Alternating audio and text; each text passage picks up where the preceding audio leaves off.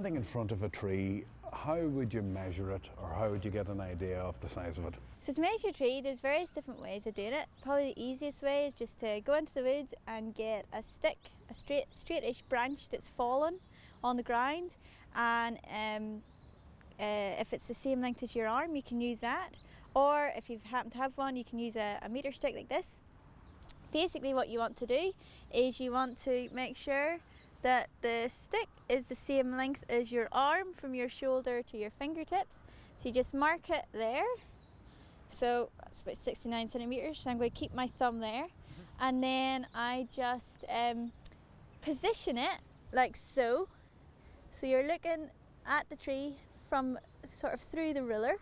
And you want your thumb to line up with the base of the tree and you want the top of the ruler to line up with the top of the tree. And whenever you're in that position, so you'll have to move about a bit in order to get um, that all lined up. But once you have, you can then measure the distance from where you're standing to the tree. And you can do that by taking meter uh, steps or you can use a, a, a ruler as well. We've measured the height of the tree and another really fun thing to do is to measure the circumference or the girth of the tree. Um, and actually from that we can get a bit of an idea very roughly how old the tree might be or at the very least if it is a notable tree, a veteran tree or an ancient tree. And we're going to do it just at about chest height. So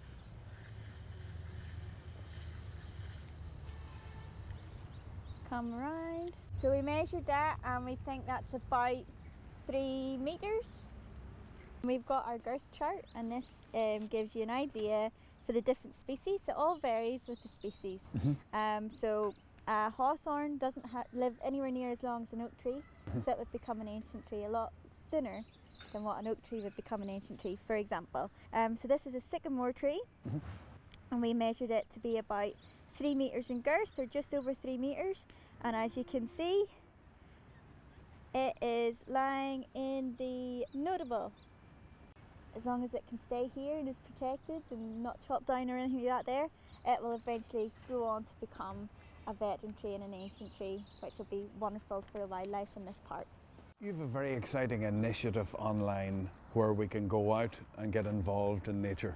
Yep, um, particularly for skills. So um, we've got the Green Tree Schools Award, and if you go on the Woodland Trust website, um, woodlandtrust.org.uk, um, it's all on there. And we essentially give out free tree packs to schools. And, and support them to plant the trees in their school grounds. And we're wanting to get you know, young people essentially to grow their own forests for the future, as we know it's so important for the future of the planet that we plant more trees. And as well as that, on the website we have a whole host of activities, worksheets, session plans that can be used by teachers and by families as well um, to, to support kids and adults in, in learning more about the trees and woods on their doorstep.